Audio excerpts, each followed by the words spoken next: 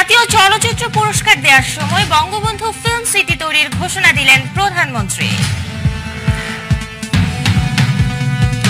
আমাদের দেশের মানুষ পাশাপাশি আন্তর্জাতিকভাবেও যেন আমাদের এই শিল্পটা আরও মর্যাদা অর্জন করে জানাচ্ছি আনন্দ যোগে। সাথে আছি আমি শাহরিন জেবিন। শুনছিলেন আনন্দ শিরোনাম এবারে জানাব বিস্তারিত আয়োজন। পঁচিশটি ক্যাটাগরিতে একত্রিশ জন শিল্পী ও কলাকুশলীদের হাতে দুহাজার পনেরো সালের জাতীয় চলচ্চিত্র পুরস্কার তুলে দিলেন প্রধানমন্ত্রী শেখ হাসিনা। সেরা চলচ্চিত্রের পুরস্কার সহ সর্বাধিক নয়টি বিভাগে জয়ী হয় বাবজানের বায়োস্কোপ ছবিটি। আজীবন সম্মাননা পেলেন অভিনেত্রী শাবানা ও সংগীত শিল্পী ফেরদৌসি রহমান। এ সময় প্রধানমন্ত্রী বলেন, দেশের ঐতিহ্য, সংস্কৃতি তুলে ধরে উন্নত মানের সিনেমা নির্মাণ করতে হবে। বিস্তারিত জানাচ্ছেন ওহিদুল ইসলাম।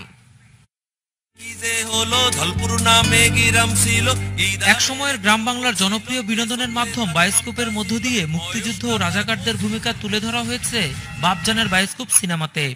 নয়টি ক্যাটাগরিতে পুরস্কার পায় সিনেমাটি।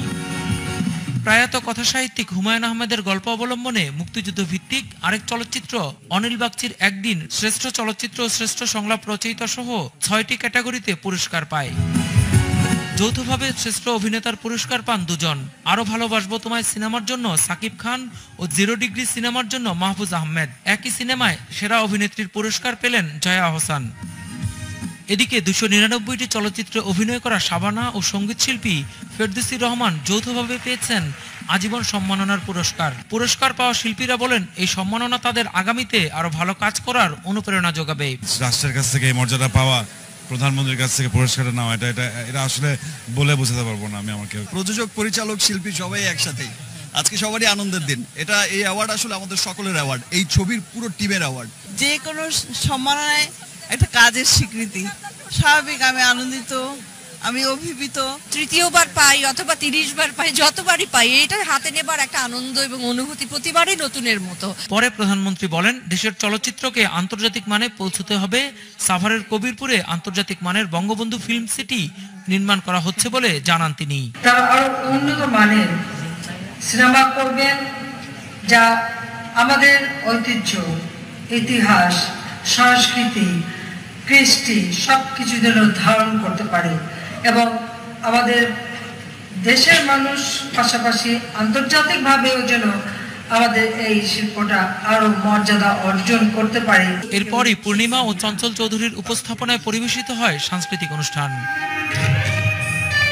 ওহিদুল ইসলাম একাত্তর ঢাকা। এ জাতীয় চলচ্চিত্র পুরস্কার তুলে দিয়েছে প্রধানমন্ত্রী শেখ হাসিনা।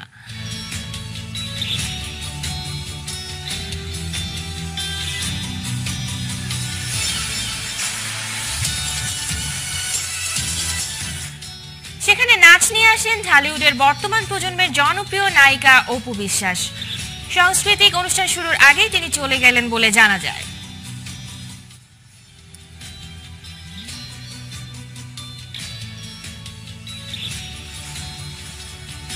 ঢাকা বিশ্ববিদ্যালয় প্রবর্তিত ফিরোজা বেগম স্মৃতি স্বর্ণপদক ও পুরস্কার দু হাজার সতেরো পাচ্ছেন রবীন্দ্রসঙ্গীত শিল্পী রেজওয়ানা চৌধুরী বন্যা। সাতাশ জুলাই ছুঁয়ে দিলে মন ছবিতে অভিনয়ের জন্য খলনায়ক চরিত্রে শ্রেষ্ঠ অভিনেতার পুরস্কার পেয়েছেন ইরেশ জাকের। এই পুরস্কারের মাধ্যমে প্রথমবার জাতীয় চলচ্চিত্র পুরস্কার অর্জন করেন তিনি। শিহাব শাহিন পরিচালিত ছুঁয়ে দিলে মন ছবিতে তিনি ডানি চরিত্রে অভিনয় করেছেন। দর্শক, এই মুহূর্তে আনন্দযোগের সাথে যুক্ত হচ্ছেন ইরেশ জাকের। শুরুতে আপনাকে শুভেচ্ছা জানাচ্ছি আর জাতীয় চলচ্চিত্র পুরস্কার পাবার জন্য আপনাকে অনেক অনেক অভিনন্দন। ছুঁয়ে দিলে মন ছবিতে অভিনয়ের জন্য আপনি জাতীয় চলচ্চিত্র পুরস্কার পেয়েছেন, তাও আবার খলনায়ক হিসেবে পুরস্কার পেয়েছেন। তো এটাকে কি আপনি আপনার অভিনয় জীবনের সেরা সাফল্য মনে করছেন কিনা? আর এই পুরস্কারটা পাওয়ার পরে আপনার অনুভূতিটা কেমন ছিল?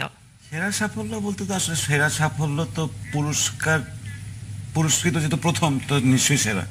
তো কিন্তু আমি ওভাবে ঠিক জিনিসটা দেখি না। সাফল্য তো অনেকভাবে হয়। নিজের কর্মক্ষেত্রে, নিজের উপলব্ধি, নিজের যদি মনে হয় যে কাজটা ঠিক করে করলাম তো সেটাই আমার মনে হয় একটা অভিনয়, অভিনেতার জীবনে সেটাই সাফল্য হওয়া উচিত।